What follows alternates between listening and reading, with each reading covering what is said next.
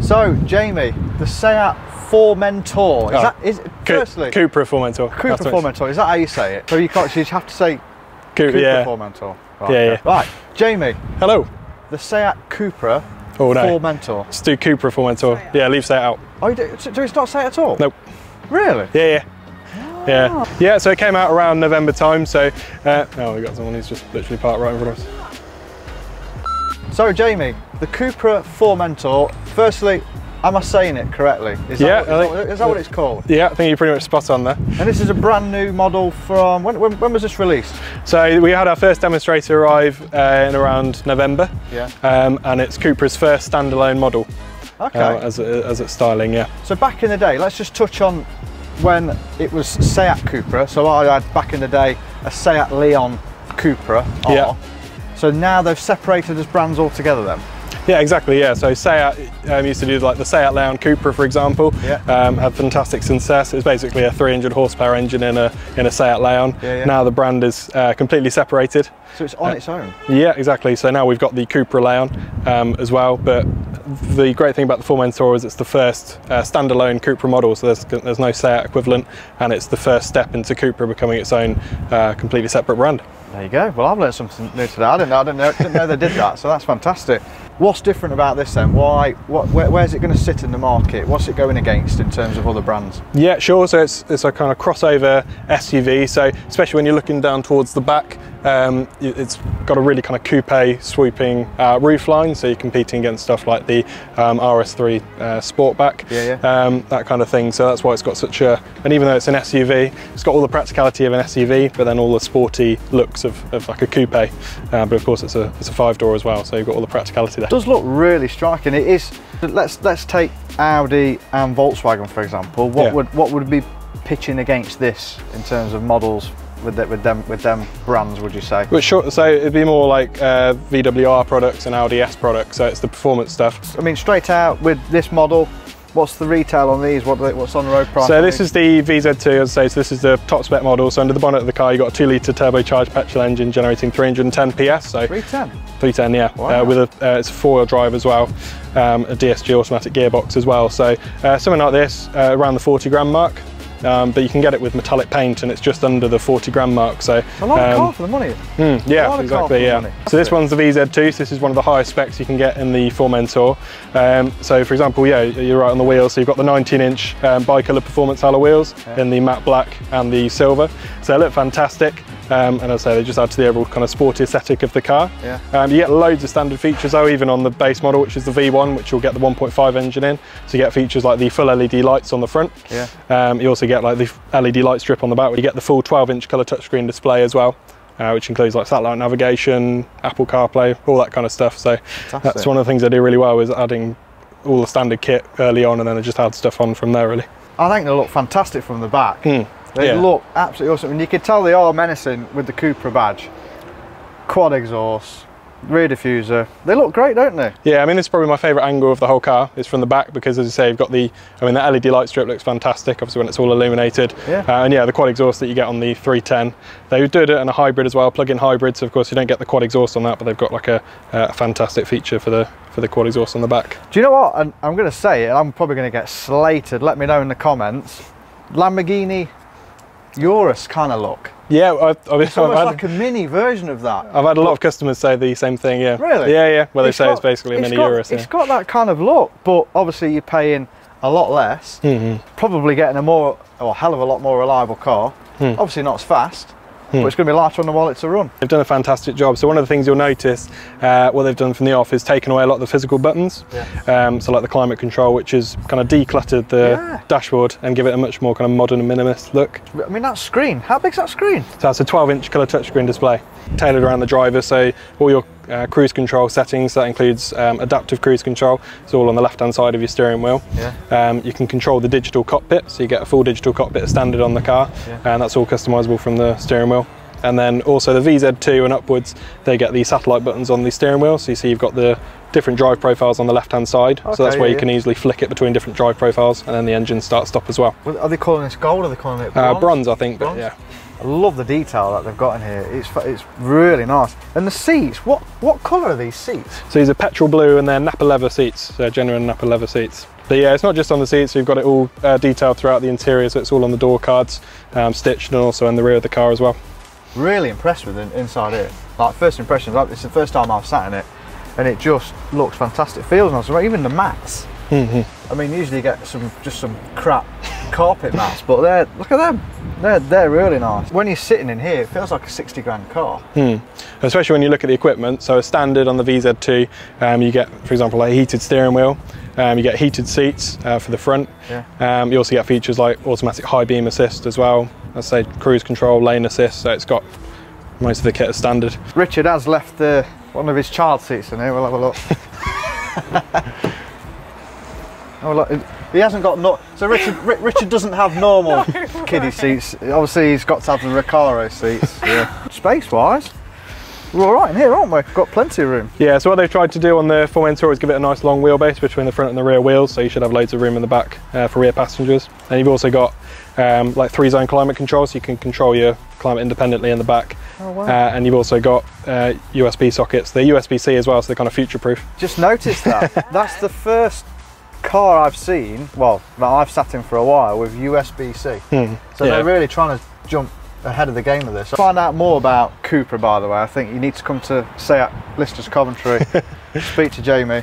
He's the man. So you get the electric power tailgate as standard on the VZ2. That's a decent boot as well, isn't it? So what's just- it called then, this? Uh, electric power tailgate, and that's virtual pedal, so you can just, obviously if your hands are full, So you put you your foot... yeah, just underneath. There you go. What? That's cool. See, that, that's nifty, that. Yeah, yeah. That is really cool. So if you are a busy photographer, videographer, and you've always got your hands full of kit, I knew it was going to do that. Yeah, look. so we're, we're currently we're starting out in comfort mode. I think we, we let's let's build ourselves up to the uh, Cooper button. Yeah. And see what, uh, see what that does. Yes. But first impressions, it, it's very second comfy. There's literally no buttons. That is absolutely confusing me because nothing. like, I want to turn this down. 50 yards, leave the But where do I turn it down? second exit. Oh look! Oh, look at that. bar. That It's really comfy. You actually feel like these seats. Oh, it's even got the bolster adjusters as well. The seats feel like you're in a sports car, and the steering wheel as well. Small steering wheel. Love the. I love the Cooper branding. I love the bronze, carbon, buttons everywhere. I mean, stop. The start engine buttons usually you get on a Ferrari, not in a Cupra. I love that. I think it's fantastic. So full 360 camera on there.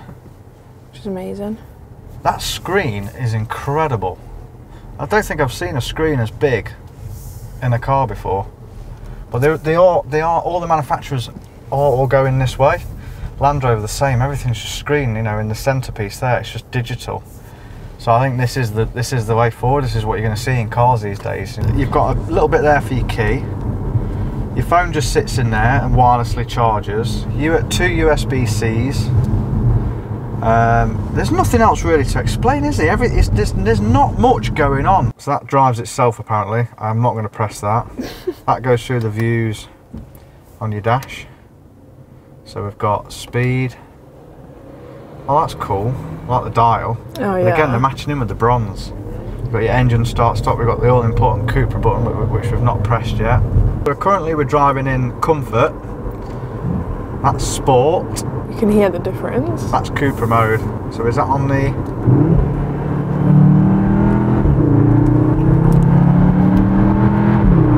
Oh, it sounds nice. Goes. It? Love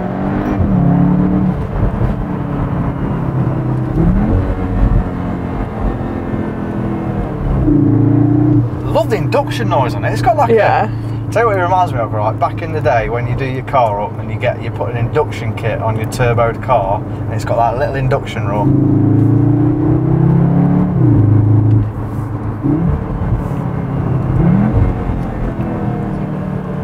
Back in the day when you buy a turboed car, obviously technology has changed now with, with engines.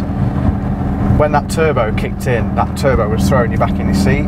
Where now they've got that power delivery down now, it's it's it's all the way. That delivery is all the way through. It's just delivering the power all the way through, so that it's constantly there. But it's it feels it feels really really quick. It's not chucking. The only, the only negative, it's not chucking me back in my seat enough now. Knowing Cupra, uh, Volkswagen, Audi, or any type of petrol engine like this, they are easily tunable. I'd love to know what what a remap could do. I'm sure they've I'm sure they've got maps out for these already, but um, I reckon they could probably get a bit more power out of this. I think I think it's quite conservative. I I, I, I want to see a bit more back in the seat, but I think that's probably what you get with a remap. But it, it, it's, it's really nice. When you downshift, it's got a it's got a little bob on the exhaust.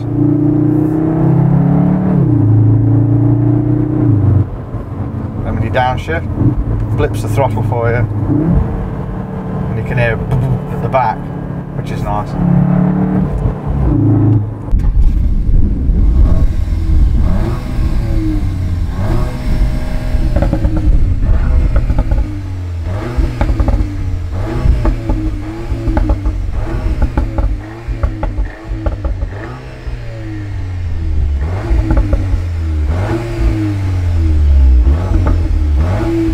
So, uh, if you can turn left uh, Turn- out- outside the junction, please. Okay, sat nav. Just wait. Don't want to crash already. No. I will agree with Mark. The comfort on this car is unbelievable. So here we go. Bloody hell, Kristen. It does go. Jesus. So you're soon up to 60, aren't you there? Oh my god, I am myself slightly now. I'm a great driver. You're actually alright to be fair. I do think I'd miss a manual just because of the fun of it. Yeah. I enjoy the fun drive of a manual car. But That's always the age old question, it's like manual or auto, but I think it depends what car you're in. This this works in an auto. Somewhere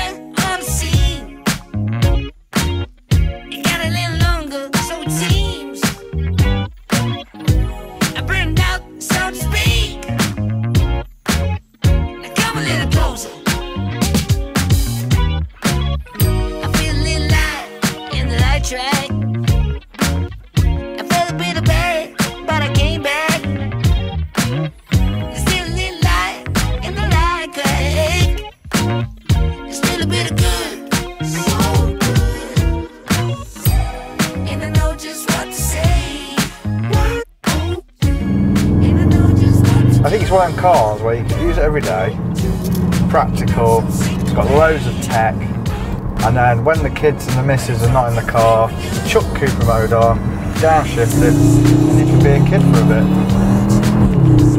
So the Cupra Formentor, fantastic car, really impressed, loads of features, goes like stink. Richard said something before he got in the car, he says like a Golf R on stilts, and he's not wrong. You put your foot down, it goes. Really, really impressed. Massive thanks to Lister SEAT here in Coventry. We'll see you on the next video.